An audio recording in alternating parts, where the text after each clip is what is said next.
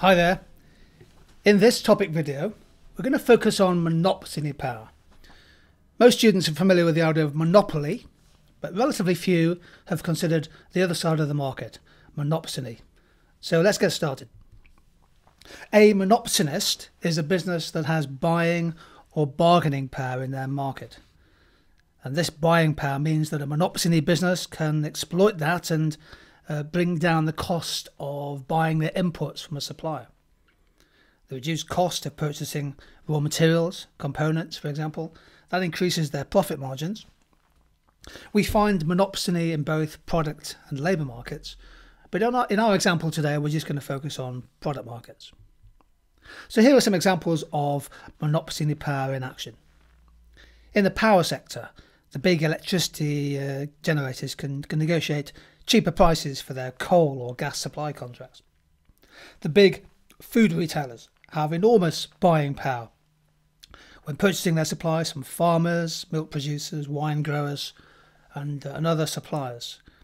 Indeed, uh, the likes of Tesco and Sainsbury and Walmart, and even the deep discounters such as Aldi and Lidl, they have oligopsony power because they are able to buy more cheaply from businesses at earlier stages of the supply chain.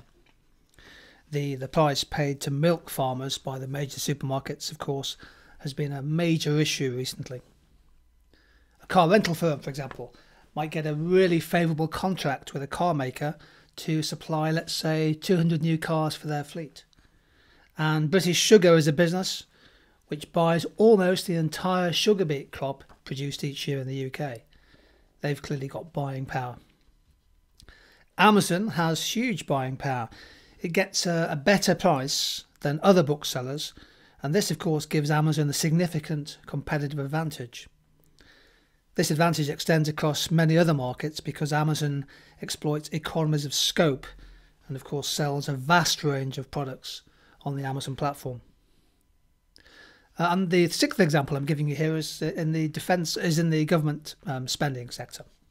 So rather like buying new defence equipment, uh, the NHS is a major buyer on behalf of the government when it's buying, for example, prescription drugs from the big pharmaceutical companies. And we'll come on to the importance of that in a second when we evaluate. So here are some examples of monopsony power in action. Now, what does it mean in terms of the consequences for businesses? What are the economic effects of monopsony power? Let's focus first of all on the businesses themselves, the monopsonists. Well, monopsony power, or buying power, is a type of internal economy of scale. So, in theory, it should bring down the long term unit cost. That, of course, means that the business is set to make higher profits and in theory, this will feed through to better returns for the company's shareholders. And another possible spillover effect is if the business is making more money, that could be used to finance and fund capital projects or research and development initiatives. There are, of course, some disadvantages of monopsony power, and we tend to focus on some of the businesses earlier on in the supply chain and the consequences for them. So, a major topical example, one that's been in the news constantly in recent times, is the battle of the milk farmers to try and negotiate a price from the supermarkets or from the big milk processing businesses that actually covers the, the average cost of each pint or litre of milk they supply. The American economist Paul Krugman has been highly critical of Amazon and indeed, look at the quote he was uh, quoted as saying in October 2014 Amazon is acting as a monopsonist, a dominant buyer with the power to push prices down. By putting the squeeze on publishers, Amazon is ultimately hurting authors and readers. That's quite an interesting quote. One can take issue with it, but it does focus your evaluation a little bit on, this, on the possible long term effects of monopsony. What about from the point of view of the consumer? Well, in theory, consumers should gain from monopsony power. Uh, the supermarkets, for example, can negotiate better prices for their for their products, and some of those lower costs might be passed on to consumers. I think the value for money argument in the NHS is is quite a powerful one. So the NHS spends billions of pounds every year on, on drugs. And if they can bring down the price of routine drugs, then that means for a given NHS budget, more people can be treated.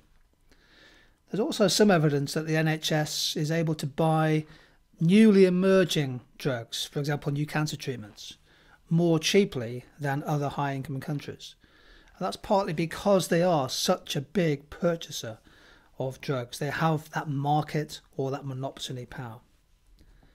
And keep in mind also uh, that monopsonies can be a useful balancing item or counterbalance to the monopoly power of businesses, which could also help the consumer. I think fundamentally, this is about relationships. It's about relationships between uh, manufacturers and their suppliers, between retailers and their suppliers. And if you think about the supermarkets, for example, they've got big monopsony power. The, the long term sustainability of the milk industry or the cheese sector or the meat farming industry, it depends, it requires that both parties benefit, both the buyer of the products and also the sellers. So this has been a little look at monopsony power. It's not often uh, focused on by students.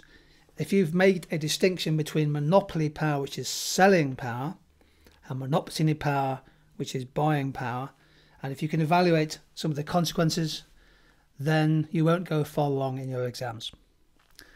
Thanks for joining. See you again sometime soon.